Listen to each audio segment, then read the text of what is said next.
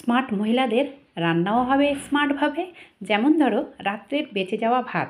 রাত্রের বেঁচে যাওয়া ভাত দিয়ে মানে আমরা এমনভাবে এই ভাতটাকে তৈরি করব, কেউ বুঝতেই পারবে না যে এটা বেঁচে যাওয়া ভাত দিয়ে তৈরি একটা রেসিপি আর ছোট মুরগির বাচ্চা পারফেক্টভাবে রান্না আমি তোমাদের সঙ্গে শেয়ার করব। আমি সুনিতা, আমার চ্যানেলে প্রত্যেক দিনের মতো তোমাদের সকলকে স্বাগত জানাই। চলো তাহলে ভিডিওটা শুরু করা যাক। যেমন ধরো, এটা হচ্ছে রাত্রের ভাত মানে বেঁচে যাওয়া ভাত। তো সকালবেলায় আমি ফ্রিজ থেকে বার করেছি ফ্রিজে রেখে দিয়েছিলাম। সর্বপ্রথমে কড়াইয়ে দিয়ে দিলাম সাদা তেল। এটা যদি সাদা তেল দিয়ে করো, তাহলে কিন্তু বেশি ভালো হবে। আর ওতে দিয়ে দিলাম আমি এক চামচ গাওয়া ঘি। তারপরে ফোড়নের জন্য দিলাম গোটা জিরে। তো আমি আগে থেকে কিছু সবজি কেটে রেখেছি। যেমন বরবটি গাজর, ক্যাপসিকাম, পেঁয়াজ, লঙ্কা। এখানে আরও কিছু অ্যাড করতে পারো। মানে এমন সবজি যেগুলো তাড়াতাড়ি সেদ্ধ হয়ে যায়। যেমন ফুলকপি ওই রকম ধরনের তো যাই হোক, এগুলোকে ভালো করে ফ্রাই করে নেব। তো আমি ক্যাপসিকামটাকে পরে দিলাম। কারণ ক্যাপসিকাম আগে যদি দিয়ে দিই, তাহলে তাড়াতাড়ি সেদ্ধ হয়ে যাবে। আর যে কোনো রেসিপিতে ক্যাপসিকাম যদি বেশি সেদ্ধ হয়ে যায়, তার টেস্ট অনেকটা কমে যায়। সে কারণে ক্যাপসিকামটা পরেই দিতে হয়। এবারে ওতে দিয়ে দিলাম সেই রাত্রের বেঁচে যাওয়া ভাত।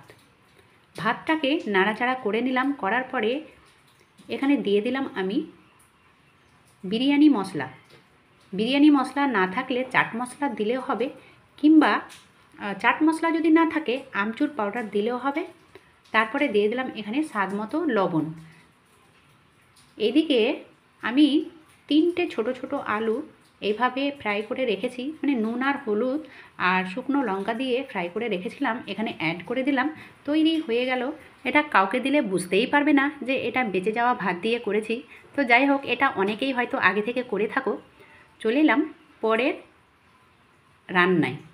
তো ছোট ছোট মুরগির বাচ্চা তোমরা দেখে বুঝতে পারবে যে কতটা ছোট ছোট রয়েছে। এই দেখো, অনেক ছোট ছোট।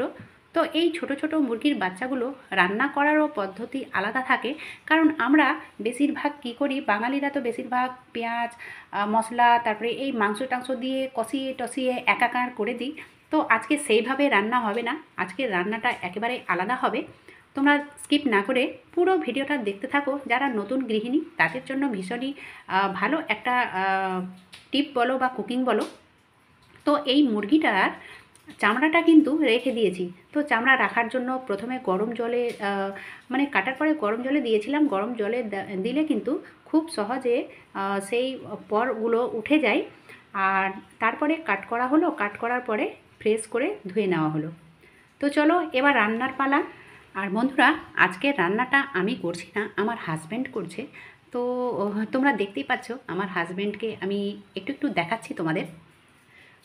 চলে এসেছি এবার রান্নার প্রসেসে তো প্রথমে মাংসটাকে মানে যে কড়াইয়ে রান্না করব, সে কড়াইয়ে মাংসটাকে দিয়ে দিলাম। আর এদিকে সব মানে কাটছাট করে রাখা হয়েছে, যেমন ধরো পেঁয়াজ, লঙ্কা, তারপরে আদা, রসুন পেস্ট, সব মশলা রেডি করা আছে প্রথম থেকে। তো এগুলোকে সেই মাংসর ওপরে দিয়ে দেওয়া হলো। আর এতে দিয়ে দেব তিন চামচ মতো আদা, রসুন, বাটা। যেহেতু দুটো মুরগির বাচ্চা ছিল, আর এতে দিয়ে দিলাম স্বাদ মতো লবণ আর হলুদ, দুই চামচ মতো হলুদ আর জিরে গুঁড়ো।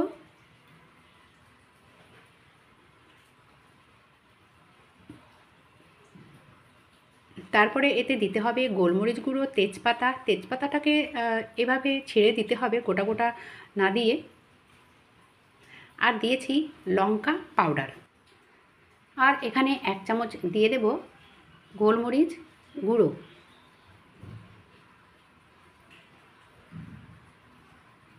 বাকি থাকল সর্ষের তেল। এটা যদি মানে সর্ষের তেল দিয়ে করা হয়, তাহলে কিন্তু বেশি ভালো হবে। মানে সাদা তেল দিয়ে অতটা টেস্ট হয় না। তো সর্ষের তেল দিয়ে অবশ্যই এই মুরগির মাংসটা রান্না করতে হবে, তাহলে বেশি টেস্ট পাওয়া যাবে। তেল, মশলা সব কিছু দেওয়া হয়ে গেছে। এবারে এটা ভালোভাবে মিক্স করে নিতে হবে। এখন পর্যন্ত কিন্তু মানে চুলার ওপরে দিইনি। প্রথমে ভালোভাবে মিক্স করে নেওয়া হলো। এবারে চলো যাই চুলোর দিকে।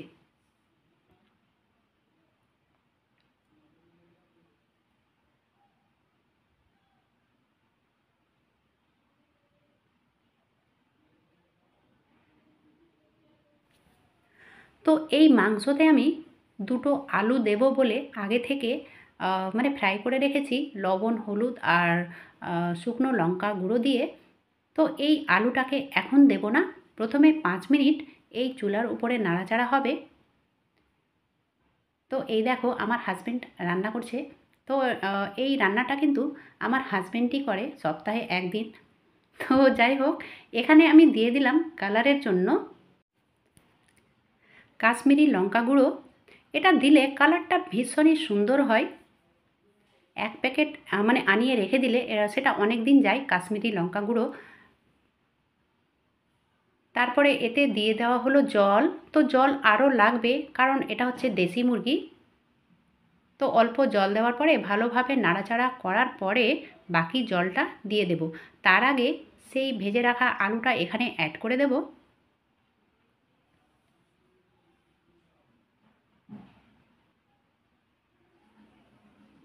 তো আলুটা দেওয়ার পরও নাড়াচাড়া করে নিতে হবে আর তারপরে বাকি জলটা দিয়ে দিতে হবে। যেহেতু এটা ঝোল ঝোল হবে, এটা ঢাকা দেওয়া হলো পনেরো মিনিটের জন্য। ফিরে এলাম পনেরো মিনিট পর। এবারে দিয়ে দিলাম এখানে গোটা গরম মশলা। এটা বেটেও দেওয়া হয়, তো গোটা গরম মশলা দিতে হলে প্রায় পাঁচ থেকে সাত মিনিট আগে দিতে হবে। তো ফিরে এলাম আবার পাঁচ থেকে সাত মিনিট পরে এবারে বাকি যে মশলাগুলো রয়েছে, বাকি মশলাগুলো বলতে ভাজা গোলমরিচের গুঁড়ো আর এখানে দিয়ে দিতে হবে কিছুটা ধনে পাতা। এই ধনে পাতা দেওয়ার কারণে এই ঝোলটা কিন্তু ভীষণই টেস্টি হয়, ভীষণই মজাদার হয়। আর কি ভালোভাবে নাড়াচাড়া করে নেব। তো আমি পরিবেশন সহ তোমাদের সঙ্গে শেয়ার করব। তোমরা যারা আমার চ্যানেলে নতুন এসেছ, এখন পর্যন্ত সাবস্ক্রাইব করোনি, যদি এরকম নিত্য নতুন ভিডিও পেতে চাও, তাহলে অবশ্যই চ্যানেলটাকে সাবস্ক্রাইব করে রাখতে হবে। তাহলেই আমার নিত্য নতুন ভিডিওর নোটিফিকেশান সবার থেকে আগে পেয়ে যাবে। এটা কিন্তু একেবারে রেডি হয়ে গেছে। চলো এবার পরিবেশনের পালা। আমি নিয়েছি এখানে একটা বড় দেখে বাটি, আর ওতে এই মাংসটাকে বার করে নেব। মানে পুরোটা বার করে নেব। যেহেতু আমাদের ঘরে চারজন সদস্য, তো আমরা এই বাটিতে বার করে নিই আর বার করার পরে মিডিলে রেখে দিই। মিডিলে রাখার পরে মানে যে যার মতো তুলে তুলে খাই। তো যাই হোক, আমি সেটাই তোমাদের সঙ্গে শেয়ার করব। আর ঝোলটা তোমরা দেখতে পাচ্ছ, দেশি মুরগির যে লাল ঝোল হয় তো এটা হয়েছে একমাত্র সেই কাশ্মীরি লঙ্কা দেওয়ার কারণে। এটা দিলে কিন্তু রঙটা ভীষণই সুন্দর হয় মানে দেখতে যতটা ভালো হয়, খেতেও ততটা টেস্টি হয়। তো খাওয়ার আগে প্রথমে নজর মানে দেখতে ভালো লাগলেই খেতে ভালো লাগবে। আজকের ভিডিওটা যদি তোমাদের এতটুকুও ভালো লেগে থাকে, তাহলে অবশ্যই ছোট্ট একটা লাইক করে দিও, কারণ তোমাদের লাইক আমার কাজ করার উৎসাহ বাড়ে। তো যাই হোক, আজকের মতো এখানেই শেষ করলাম। এতক্ষণ আমার সঙ্গে আমার ভিডিও দেখার জন্য তোমাদের অসংখ্য ধন্যবাদ।